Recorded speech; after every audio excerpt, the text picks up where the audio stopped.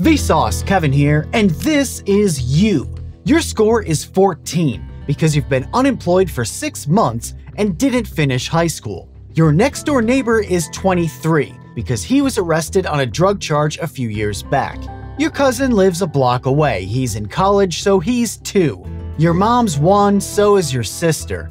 And then your best friend gets shot here in a convenience store robbery.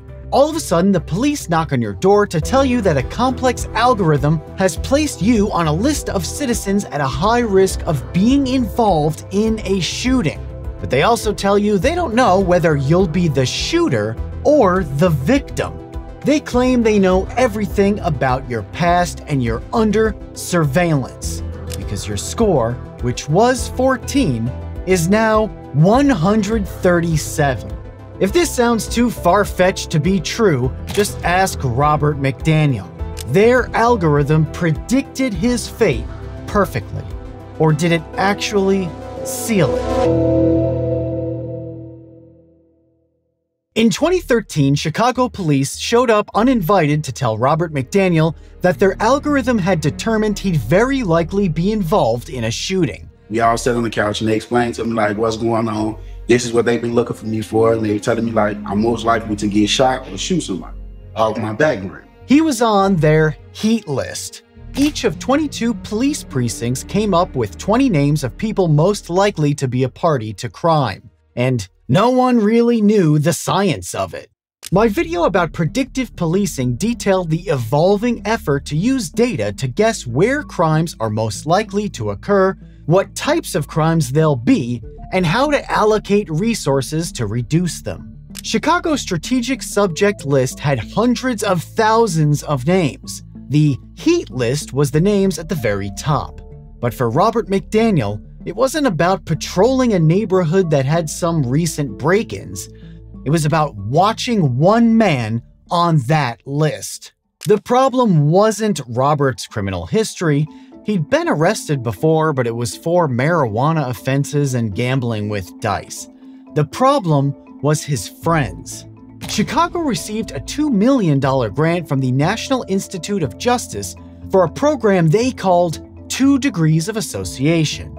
An algorithm determined your level of crime risk based not on your own history, but the actions of people you'd been arrested with.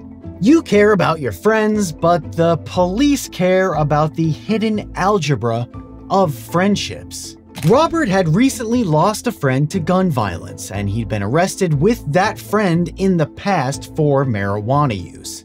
Robert's social proximity to a shooting victim meant that his score on the heat list was now 215, meaning the algorithm determined that he was 215 times more likely than average to be involved in a shooting. Some people on the heat list had scores over 500. Boobs. The director of the Medical Imaging Research Center at the Illinois Institute of Technology was involved in the algorithm, and he compared predictive crime mapping to identifying anomalies in mammograms. Look at the image and see what's just not normal. In an interview with The Verge, designer Miles Wernick said, it's not just shooting somebody or being shot, it has to do with the person's relationships to other violent people. The algorithm is, again, a black box. We don't know any of the details of how it works, but we do know that it's based on social network theory. The police use data about who you associate with to assess your risk of engaging in crime. What's social network theory? Here's a really specific example. Let's say the new guy at work smokes alone during his lunch break. A former smoker might be influenced to start smoking again, and the two of them form a little smoke break club. A few other coworkers join in, and now they've created a smokers' social network. This guy is the catalyst for everyone else changing their behavior and status, including the ones who don't smoke and are now suddenly outsiders. Now, two groups exist smokers and non smokers with varying individual behaviors, when before, everyone just ate lunch together. Social influences spread like a virus. Andrew V. Papachristos and Christopher Wildeman have posited that gun violence works similarly to the transmission of bloodborne pathogens. It's an epidemic with patterns that can be mapped just like cholera or HIV. They concluded that someone within two degrees of a person involved in a shooting is 100 times more likely than average to be involved in a future shooting. Using simple proximity as grounds for criminal suspicion sounds a heck of a lot like guilty by association, right? Wrong! It's complicated. The history of joint enterprise in British Commonwealth law stretches back centuries to address the rise in pistol dueling. Spectators were suddenly exposed to criminal liability just as participants were, as their role in encouraging the act was deemed a threat to public safety. Is that really fair? Well, for Robert McDaniel, the spectators pulled the trigger. When police confronted him, they were accompanied by a social worker who offered to help him with employment or mental health services to reduce his risk. That's really good. Here's what was really bad. Neighbors who saw the encounter suspected Robert of being a police informant, and knowing he would be under police scrutiny despite not having done anything wrong, rightfully confused and angered him. The police trying to warn him and aid him ended up harming him and his social status in the community. There's an old saying that snitches get stitches. Robert got a bullet. A friend called Robert and asked him to explain why he was on the heat list, why he was talking to the police, and why journalists and documentarians were interested in his life. When he came outside, a car pulled up and shot him. He didn't report the shooting to police because he said he's not a snitch. But by putting him on their heat list, he got heat.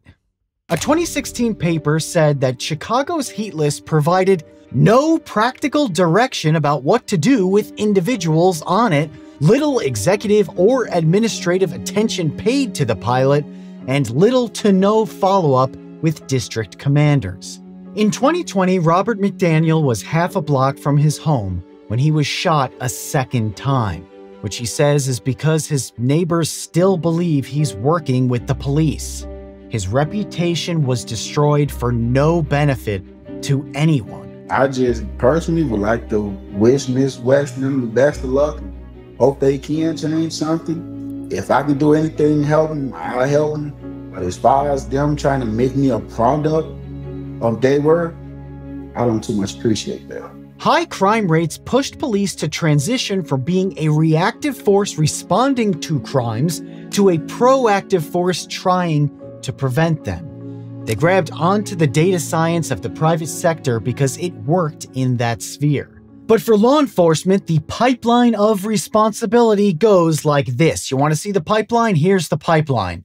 A litany of government agencies collect data, which is often flawed, incomplete, or biased. Then mathematicians create algorithms using that data, which programmers turn into usable code. Police departments try to apply the output generally across cities. Then, individual officers implement results in specific neighborhoods. And then courts interpret the whole chain of events. So, who's actually responsible? Everyone. And no one. Chicago ended the Heat List initiative three years ago, but the London Metropolitan Police Force continues to use and refine its own version. A database that combines personal information with criminal associations to assign a green, amber, or red designation to indicate a threat of violence. They call it the Matrix which is totally not ominous at all. So, what choices have you made that would put you on the heat list? Would any of your friends make you more of a suspect? Have you stopped being friends with someone because of their impact on your social status? And what did that do to their life if you were their only positive influence? Do you have a moral responsibility to lower the scores of people around you, even if you risk raising your own. And if we can quantify these complex social relationships, do we store that data? How do we use it? Who uses it? And for what? To get a loan? To have a social media account? To hold a job, get married, order a pizza? Which faceless authorities, each of whom is completely divorced from the inner workings of the actual algorithm, are you comfortable permanently etching a number into your identity? Because once you're on their list, there's no way off. And the number doesn't care whether you shoot the bullet or take it. And as always, thanks for watching. I say just best thing in life for you to do is mind your own business. Don't bring problems to yourself that does not need to be in your life.